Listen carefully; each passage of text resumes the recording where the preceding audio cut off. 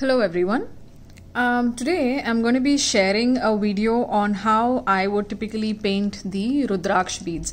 Now uh, these are obviously terracotta um, um, terracotta beads that I have um, you know I've already shared a video of how I've actually made these. I'll again um, share the link to that video in the description box of uh, of this one and um, so I think uh, a couple of days ago I had uploaded a video of uh, how I had assembled a piece using um, you know a necklace rather using these set of beads and um, I think a lot of you got back to me asking how that uh, painting, um, you know, how that painting was typically done.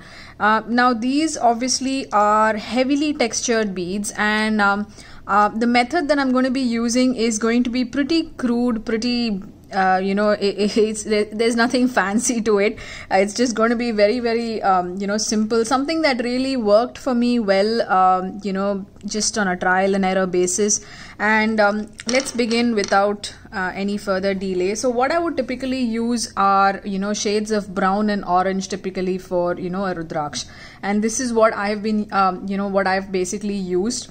Um, uh, I mean, you know, you can basically just mix these. Obviously, more brown and less of the orange. So when I say that, uh, I mean, uh, if I'm taking, say, uh, one part of brown, it would be half a part of orange, and I would mix that with water.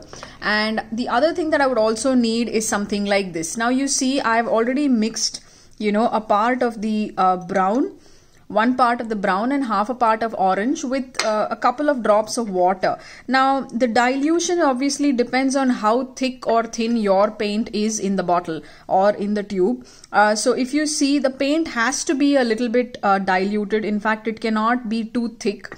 So because uh, the idea is for the paint to actually seep through all of these little, you know, holes and uh, all these textures that we have made. So what I would typically do now is just dunk it inside and I would keep rotating this. I, I like I said, this method is not going to be too fancy, uh, but the good part is this doesn't uh, make use of your hands or in in any way. Okay, so typically what I would do is I would um, I would run the brush in this manner just so that the beads kind of go in, you know, a circular motion in this manner so that the so that the entire part gets covered. Now remember if the paint is too thick there is a good chance that the paint wouldn't seep through the textures. So you have to make sure that the paint is just um, you know does have a little quantity of water.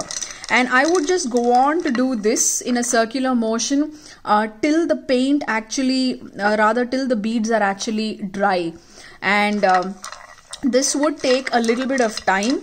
And um, you know you just have to be patient. Just, this might take close to about uh, you can say roughly about five minutes. And another advantage in this method is that that you will be able to use uh, see here I'm using approximately 9 beads.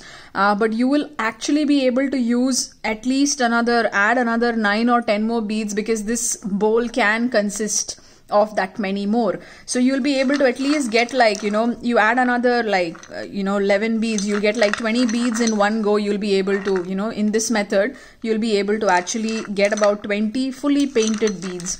And that's a pretty quick method. Uh, so you know this keeps going on. And if you see this is just going in a circular motion. It's just going on and on in a circular motion. And this shouldn't stop. Uh, remember guys this shouldn't stop. You have to constantly keep rotating this uh, just so that uh, you know the paint kind of is constantly getting absorbed in the bead and it, it is happening you know constantly in a rotational manner. Because if you stop and not do it for some time there's a good chance that the bead might actually stick to the um, you know stick to the paint and then it just it just looks messy. So you begin to keep doing this and you already start to see that the uh, the paint is slowly starting to become thicker and thicker at the base of it. So keep doing this till it completely dries. This would roughly take you know based on how much paint you're actually taking in i think this would roughly take about maybe about five minutes or probably lesser than five minutes you know based on but it, it requires um, you know vigorous mixing.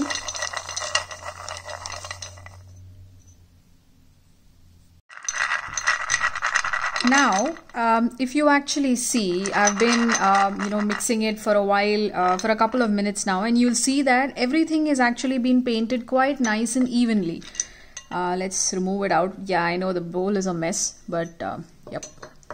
So this is how you know you kind of get it. It's not i would say typically it's about um, uh, maybe about 95% dry. Because I can still feel a little bit of moistness but you can see that you know these beads are painted. But the idea is that you don't want these very evenly painted because typically in a rudraksh you would you know um, see basically color variations uh, like you know uh, slightly uh, obviously the depths will have much deeper colors. So ideally we are looking at achieving achieving an effect like that. So for that there are a couple of methods. Now um, i would think you know a sandpaper would probably work very well but currently i don't have a sandpaper. So uh, you know i I'm also thinking about other methods to do it without generating too much of dry dust uh, because uh, let's face it it's it's not the most um, you know it's not the most healthiest of options to kind of inhale dry dust. So what i have here is a bunch of things. This is a fired terracotta piece. You can clearly make out that you know with the noise. Sorry about the noise but you can clearly make out that this is a fired bowl. And i usually use this base sometimes for scraping or you can also use um, now this is probably something which is there you know I use this typically only for clay I use this just for the clay purpose. I don't combine um, uh, food and um, you know things I use for uh, well cooking and in the kitchen is is completely separate.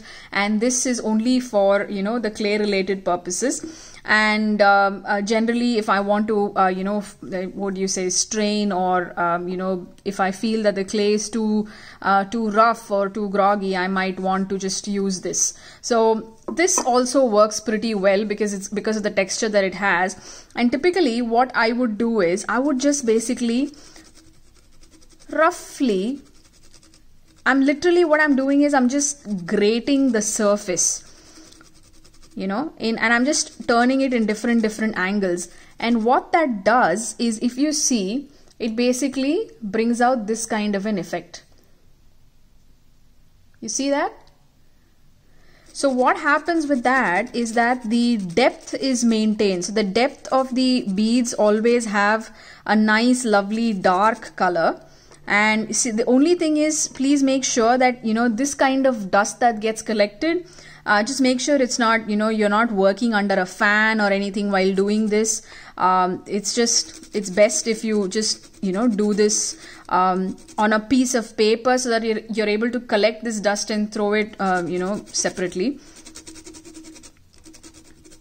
So when I keep doing this it gives me an it, it gives me a beautiful effect. And the thing is the sandpaper and it's you don't have to do like the whole thing.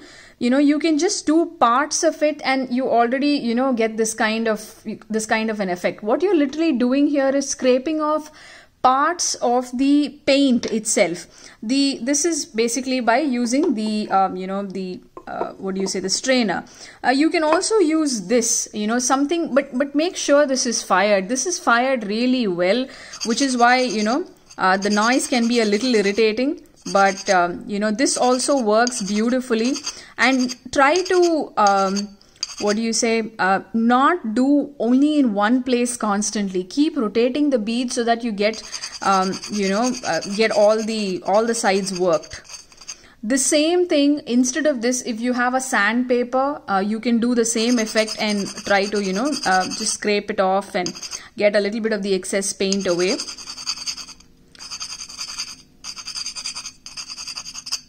Yeah so this is this is pretty much it. I mean you know this is how i have i've basically i kind of got this kind of a variation and um, it's honestly it's quite nice when it's actually put together. In fact you can see a comparison right away uh, to a plain one and to say something. See this is this is completely plain. Um, you know it doesn't have too much of a uh, what do you say? Well it, it it looks nice. I mean if you want basically plain beads this is again another alternative. But uh, you know when you have to compare say something which has a little bit more um, you know texture more character to it you know it's just I, I kind of like the effect that these kind of beads actually have. So you know and you see that it's you know yeah i think this this technique might take a little time uh, you know when you have to grate a couple of beads but you know what? It's it's okay. It's it's just totally worth the worth the effort i would say I really hope you found this video useful everyone. I sincerely hope uh, you know you uh, you really uh, uh understood the technique that I have used here. I have not used anything fancy, uh, just basic set of things and um, you saw how quickly I was able to actually paint close to like nine of these. Um, in fact, that's just the least because that's all is what I have right now. Uh, but um, you know you can actually based on the size of the um, you know the vessel that you're basically using or the bowl that you're using you can actually do um, quite a quite a few. And um, you know you can also do it in parts uh, because you you know the idea is not to take in too much paint. So let me repeat that um, you know typically the color what what kind of suits well for me is one part of brown and half a part of orange uh, somehow that seems to um, you know bring out the bring out a nice um, deep color.